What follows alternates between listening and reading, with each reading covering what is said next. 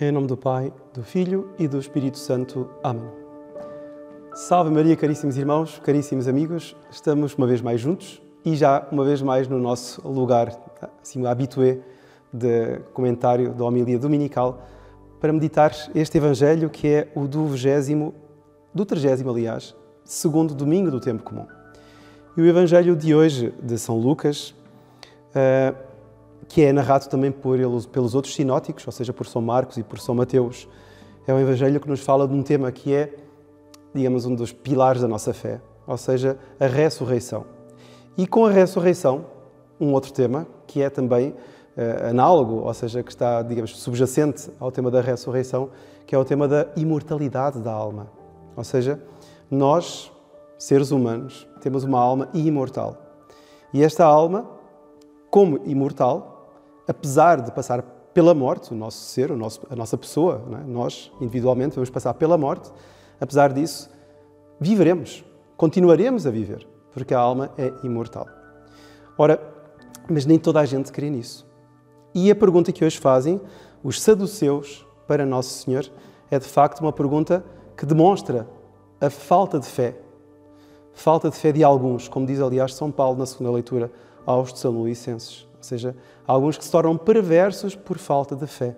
Ou seja, como não têm fé, adequam a sua vida às limitações do seu horizonte, é? sem fé.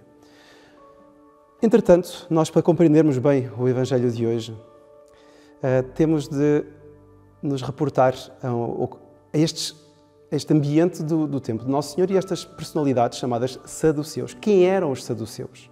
É? Ouvimos muitas vezes falar dos fariseus e, no caso concreto, temos hoje os saduceus.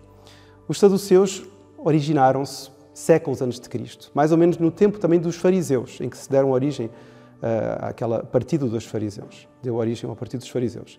Na época em que Alexandre Magno, grego, tomou conta do, de meio mundo naquele tempo. Ou seja, ele morreu cerca do ano 323 a.C. e ele conquistou uh, o mundo de então, digamos, todo o Médio Oriente até à Índia e conquistou também o povo judaico. Ora, as classes mais altas, que, das quais faziam parte os saduceus, foram os que aderiram mais uh, assim, de alma e coração ao helenismo, ou seja, a toda a cultura helénica, que significa a cultura grega. Resultado, eles acabaram por tomar costumes, hábitos, ritos pagãos, ou seja, dos gregos. E isso era um escândalo para os, para os judeus. E por isso se formou o partido dos fariseus, ou seja, dos separados. Ora, Entretanto, claro, houve separados, houve um grande, eh, um grande drama que, aliás, é bem narrado na primeira leitura de hoje, eh, com os Macabeus, ou seja, esta, esta família dos Macabeus, que acabaram por, por se revoltar contra essa ordem estabelecida pelos, pelos gregos e essa imposição de praticar culto, um culto contrário ao culto dos antepassados, dos pais, das tradições. E por isso eles dizem aqui que vale a pena morrermos às mãos dos homens. Vale a pena morrer. Porquê? Porque temos esperança em Deus. Eles vão morrer porque não querem conspurcar a alma com ritos contrários à lei de Deus. Então eles dizem que vale a pena morrer, porque têm a esperança de que Ele nos ressuscitará. E entretanto dizem para o rei, eu era o rei da Síria, tu não ressuscitarás para a vida. Ou seja, sendo um homem mau, não ressuscitará para a vida. Ou seja, vai ressuscitar para, vai ressuscitar para a morte, para a condenação eterna, ou seja, para o inferno. Se não se converter, evidentemente. E eles, macabeus, né, já cerca de dois séculos antes de Cristo, acreditam que vão ressuscitar para a vida. Ou seja, acreditam na ressurreição dos mortos, como nós acreditamos também como católicos. Ora, estes saduceus, de facto, que eram as pessoas mais aristocratas de, de, entre os judeus, eram também, entre essas pessoas aristocratas, eram os, os sacerdotes, maioritariamente eles eram sacerdotes, e eram pessoas, no fundo, tinham criavam o fato de terem já uma, digamos, um, uma boa posição social, porque eram aristocratas, serem sacerdotes, ou seja, pessoas arque bem vistas pelo povo, eles então, para não perderem esse status, acabavam por ser muitas vezes os colaboracionistas com, as, uh, com, os, enfim, com o, que vinha de fora. Então, por exemplo, no tempo de Nosso Senhor, os saduceus colaboravam muito facilmente com os romanos, é? que, como nós sabemos, dominavam o povo judaico. Ora, das 95 ocasiões em que Nosso Senhor é confrontado pelos seus, vamos dizer assim, inimigos, os inimigos que são os fariseus, os herodianos, etc., e também são os saduceus, das 95 ocasiões, três são única e exclusivamente dos saduceus. E é, esta é uma das ocasiões. E o Evangelho de hoje, então, começa em que estes saduceus, que, narra o evangelista São Lucas, negam a ressurreição, fizeram-lhe a seguinte pergunta: Mestre, Moisés deixou-nos escrito: se morrer alguém um irmão, que deixe mulher, mas sem filhos. Esse homem deve casar com a viúva para dar descendência ao seu irmão. Então, agora vão levar o caso até ao absurdo. Ora, havia sete irmãos. O primeiro casou, morreu sem filhos. O segundo casou com a mesma esposa, morreu sem filhos. Então, os sete, eles querem levar um caso, porque bastaria dizer que o primeiro casou não deixou filhos e casou o segundo. Pronto. Porque qual é a ideia que eles querem colocar? É que se houver de facto ressurreição, com quem ela vai casar na outra vida? Mas teve dois maridos. No fundo, o problema que eles querem colocar a Nosso Senhor é esse. Só que eles, para levarem isso a um drama maior, né, eles colocam que a mulher teve sete maridos. Com qual dos sete é que ela vai estar na vida eterna? É? Colocam os saduceus para Nosso Senhor. E Nosso Senhor, então, irá dar uma resposta que os deixará completamente, deixará completamente baralhados. Porque Nosso Senhor irá dizer, ou melhor, irá confrontá-los com esta ideia: é que na outra vida, ou seja, na ressurreição, após a ressurreição, não há casamentos. Essa lei, chamada lei do Levirato, que está descrita no Deuteronômio, essa lei é uma lei para os homens aqui. É uma lei feita para a terra. Porque, de facto, se um primogênito, uma família tem, um, tem vários filhos e tem um primogênito, e o primogênito casa com uma senhora e morre, sem deixar filhos, ele devia deixar descendência, essa família devia deixar descendência. Logo, o segundo, mais velho, deve casar com esta mulher, para precisamente deixar a descendência. Era a lei do levirato, ou seja, para que sempre, digamos, o poder ficasse sobre o mais velho. Ora, mas esse problema não existe depois da morte. Depois da morte não existe a sucessão. Porquê? Porque a lei do casamento, a lei do matrimónio, é uma lei que existe porque existe a morte. Porque uma pessoa, quando tem filhos, um casal tem filhos, os filhos acabam por morrer. Logo, o filho vai ter de casar para, para poder ter mais filhos e assim a geração humana nunca acabar, até o fim do mundo. Para que haja sempre homens sobre a face da terra. É? Uma vez que existe depois a morte definitiva e a pessoa na outra vida vive eternamente, não precisa gerar filhos para nada.